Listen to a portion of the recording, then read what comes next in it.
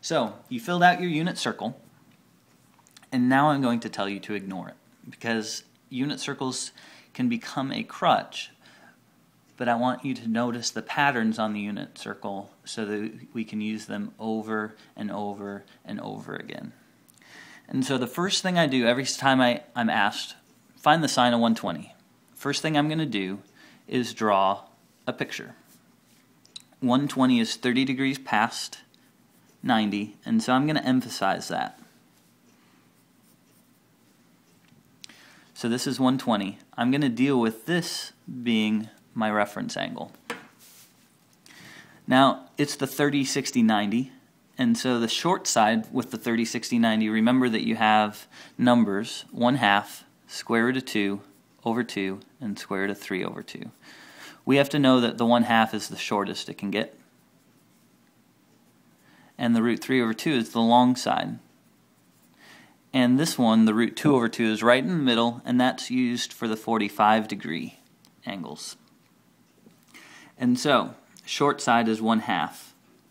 And because we've gone to the left, it's a negative 1 half because your x is negative. Your y value is the long one, root 3 over 2.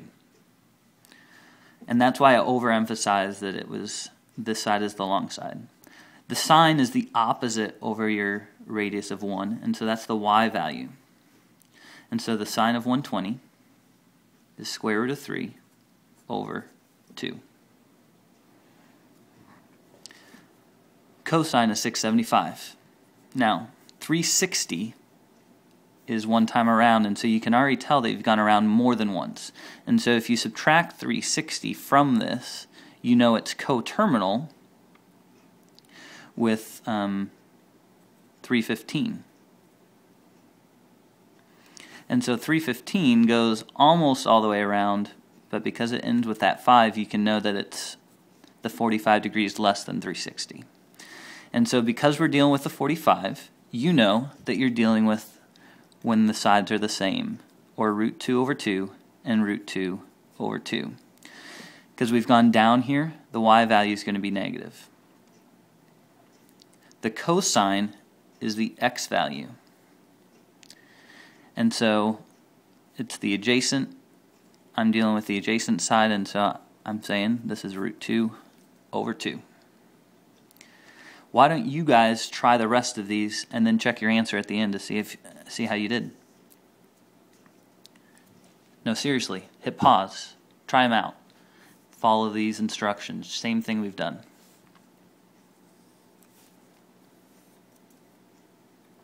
Notice the negative 150. And so I'm going to go around this way and say this is my angle. 30, 60, 90 again because we're 30 degrees before you hit the 180 mark. And so this is going to be the short side and this is going to be the long side.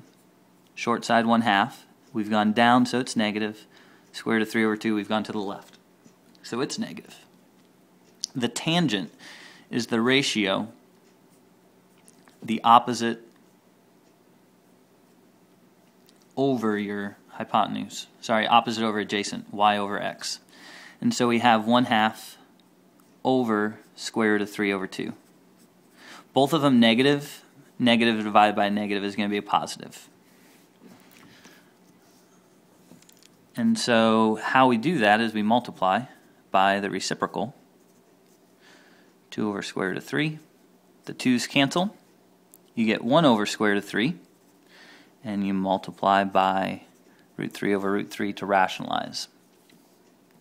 And the final answer is square root of 3 over 3 is the tangent of negative 150. All right, now dealing with them in radians. These are going to be a little trickier as we get used to radians. But what I think of is if I had 4 pi over 4, that would be pi.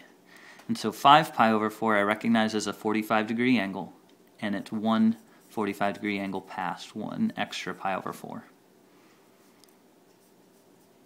And so we have root 2 over 2 and a negative 1, and root 2 over 2 and a negative 1. Cosecant is the reciprocal of the y value. because it's the sine, c and the s go together. Um, and so it's the reciprocal of 2, root 2 over 2, so it's 2 over root 2.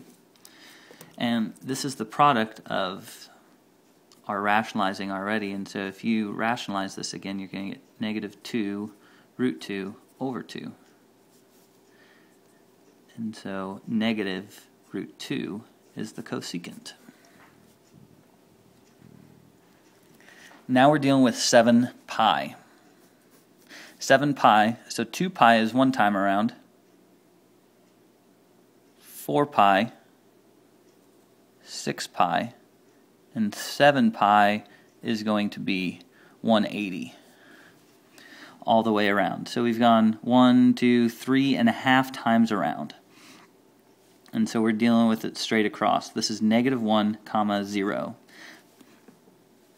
Cotangent is the x over the y.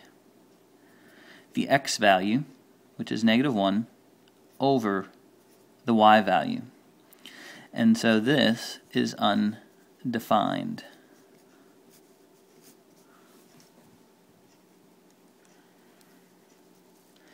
and negative 11 pi over 6. Negative, so I'm going in the opposite direction. 12 pi over 6, if you think in pi over 6 is 12 pi over 6 would be pi over 2. Sorry, would be 2 pi. And so I'm going almost all the way around. Pi over 6s are the smallest angle, the 30 degree angle. I'm emphasizing this. It doesn't quite look at 30 degrees. But I'm doing that so I can tell that the short side is over here and the long side is right here. Secant, I'm dealing with the x value because this is the reciprocal of the cosine, the adjacent side. And so I'm dealing with 1 over the x, or the reciprocal of the x, 2 over square root of 3. And so I'm going to multiply by root 3 over root 3. I get 2 root 3 over 3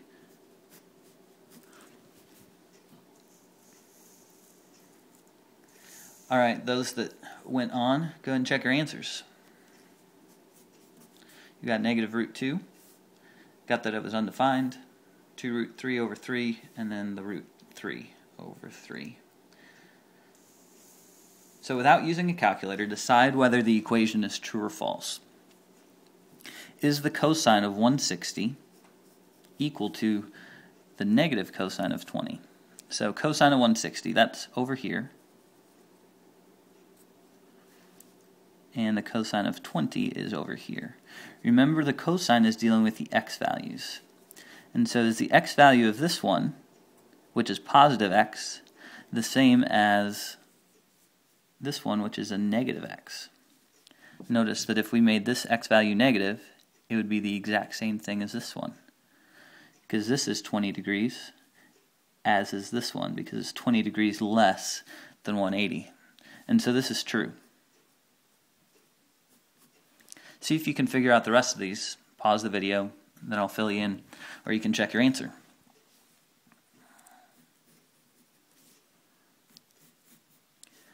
Seven pi over four is one, two, three, four, five, six, seven pi over four, which is almost all the way around to eight pi over four. Is that the same as three pi over four, which is almost to four pi over four pi? And so what we're talking about is this the same y value? It's the over 4s, and so your y values are your root 2 over 2s and stuff. And so you could think about it that way. Or you notice that this is pi over 4. And this is pi over 4, your reference angle in a sense. And so your triangles are the exact same.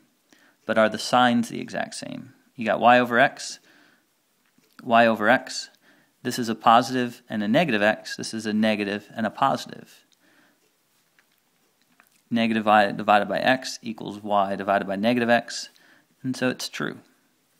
Same exact deal. Sine of pi over 3. Pi over 3 is that 60 degree angle. Is that the same as the cosine of 5 pi over 6?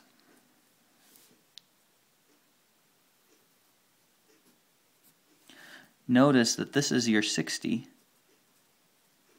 and your y value, so that's root 3 over 2. Your cosine is the x value, and that's negative root 3 over 2. And so where this is positive, this is negative, and so that is false. It's very, very close, but one's positive, one's negative. Cosine of 300. That's almost all the way around.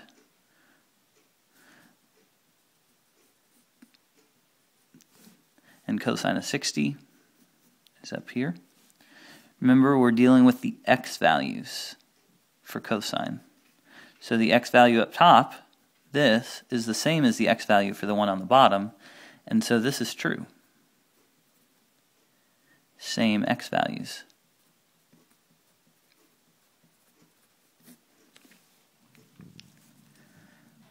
Write the cosine of 200 as a function of an acute angle. Acute meaning less than 90 degrees. And so what cosine So cosine of 200, that's going past 180, like that. And so how much past 180? Well, it's 20 degrees past 180. And so that's the x value at 20 degrees. So let's deal with the, um, we have two options. I'm going to deal with the one that looks like this where it's the x value going the other way. Now this x value is negative, where this x value is going to be positive. And so whatever it's going to be, cosine of 200 is going to be equal to if I change the sign of this other one and just used regular 20 degrees.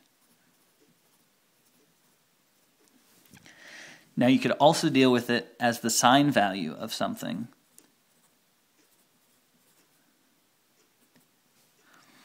uh, where the cosine was the positive one, and if we made it negative, it'd be the same as this one. If we went to the complementary angle in the same way that we did here, and just flip your triangle over, then your sine value is going to be the same. Sine of 70 degrees. Remember, I got 70 from 90 minus 20. And so, same deal here, we could have gone to the sine of negative 70. You don't need both of these. It was just a different way of thinking about it.